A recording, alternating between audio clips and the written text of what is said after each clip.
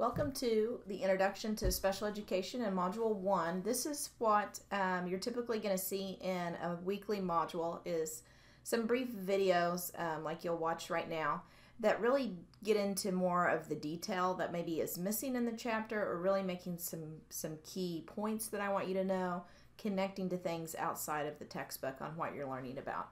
So today what I want to really look at is the history of special education in this video. It's one of the things that the text um, touches on briefly, but not in a lot of detail. And I think it's important for us to just have a, a good understanding of kind of where we came from and how we got to this point in terms of what special education looks like in schools uh, today. So what we want to look at in this module is we're going to we're going to look at the history of special education, some of the laws that have come into effect that have really impacted how our students with disabilities uh, learn in the classroom, what kind of access do they have in the classroom. And then we're going to look at those six principles of IDEA, and I'm just going to touch on some really important key things within each of those that I really want to make sure that you know and know well as you finish up this module. So let's look at the history of special education.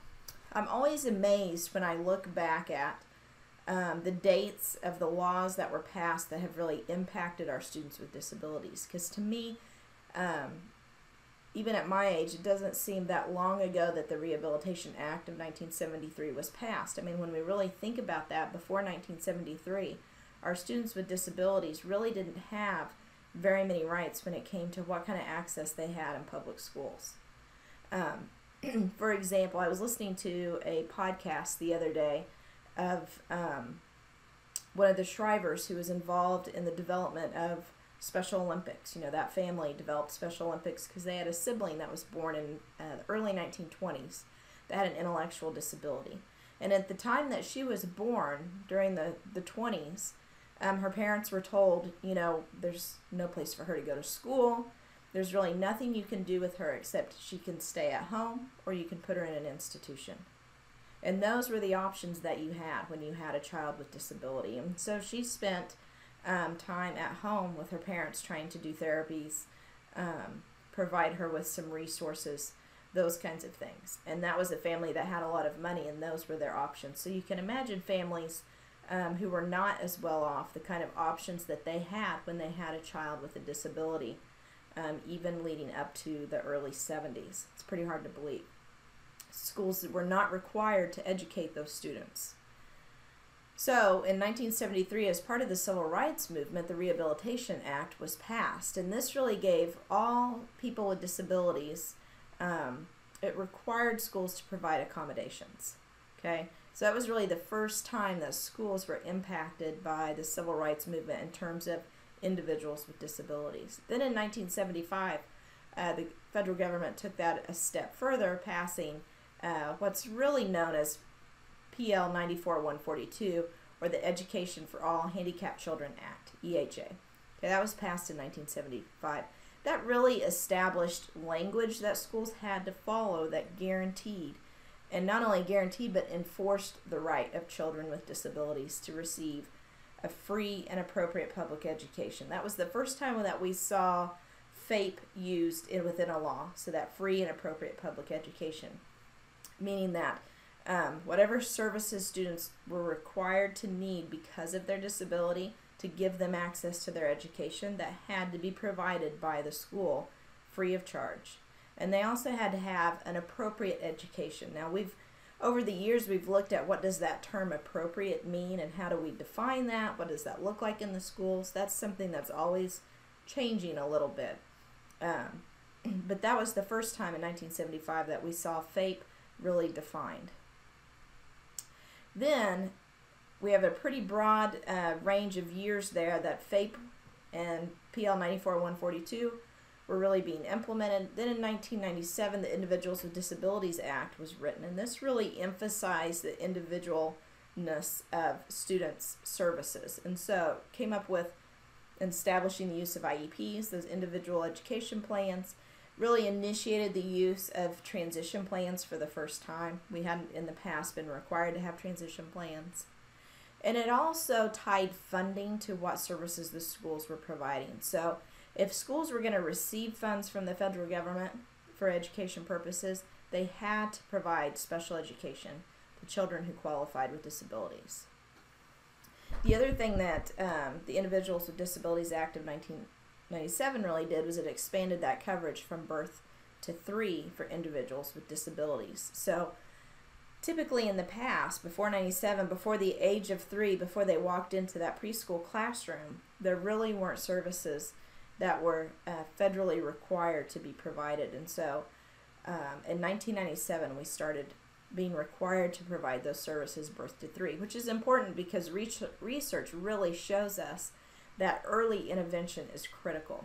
You know, the, the more we provide early intervention to, to infants, toddlers with disabilities, whether that be a language disability, a learning disability, intellectual disability, whatever it is, whatever is impacting their development, if we provide that early intervention, we know down the road that's going to have a much larger impact than if we wait until the age of three to be providing those interventions. And so I think it's just good for us as special educators to know where we came from, to remember what our history tells us. And it also, always felt like as a teacher, it helped me keep in mind what are things I'm doing in the classroom, doing with my students, that is maybe preventing them from having the best access to um, a free and appropriate public education or the best access for their learning. You know, you think in 1997, schools probably felt like they were doing good things with students with disabilities. They were they were serving them well, but we still needed to improve. And I think that's a, a, the lesson learned here is there's always room for improvement, always room to really look at are we providing the best access to quality education for our students with disabilities. Another critical component that the authors mention in this, and I really like this, they, they start the chapter really with this, talking about language and how do we talk about individuals with disabilities.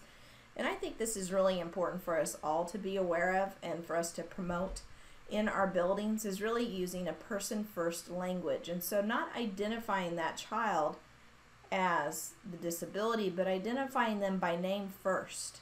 And so it really allows us to to have a more positive, objective view of students, right? So, for example, my daughter Josie is deaf. Okay, I would not call her um, a deaf student. I would call her a student with deafness. Okay, because she she does not identify initially with her deafness. Now, if you ask her, some days she does. Okay, because she's very proud of her deafness, um, or she has low muscle tone. I don't I don't identify her first as as having that or she's a tubie. She's uh, fed through a feeding tube. We don't identify her first as a tubie. We identify her as Josie, and she's Josie with a tube or Josie with low muscle tone. I think it's important that as special educators, we really use this language. We use it when we're around parents, we use it when we're around colleagues, so that our colleagues uh, in schools start to really use person first language. I know as a parent, it always, um, I, it, it brings attention to me when I hear someone talk about Josie, not in person first language, but talk about her first as having a disability. And that always stings a little bit as a parent. Um, and I know that's not our intention if we don't use person first language. It's just a good practice to use, is to really identify that student by their name first, or as a student or as a child, and then with the disability second. One of the things that the textbook lays out here is kind of the span of special education. And remember, we talked about um, the Individuals with Disabilities Act of 1997 really putting in place that Part C, that Birth to Three program. The Birth to Three program um, covers students until they reach the age of three, and then they pick up services with their school district. And the Birth to Three program, Part C, also has an individualized education plan. It's called actually called um, fam- Family Individualized uh, Service Plan. So FISP is what it is called, and it really that birth to three program really encompasses the family more than the IEP does because services are typically provided in the home. So you have service providers, whether that's PT, OT, speech, coming into the home or maybe into a daycare setting, maybe um, kiddos who are maybe two or in a, some kind of little preschool classroom setting during the week. Service providers could go into that setting and provide those services. But it's really more of a family centered approach to providing services on those kiddos birth to three.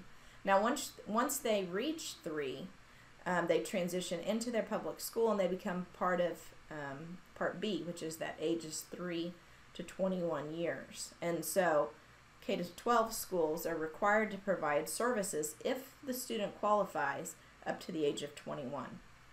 So sometimes we'll see kids that transition um, maybe out of their senior year and maybe transition into a life skills work based program that they stay in until they're 21, um, which is a really great opportunity for those kids to continue to develop those independent uh, living skills, those work skills, um, some of those things. And so that's why um, Individuals with Disabilities Act of 97 um, really included that Part B 3 to 21 years because it is important for us to have some flexibility there that those services don't necessarily end um, at 18 um, if they require additional supports.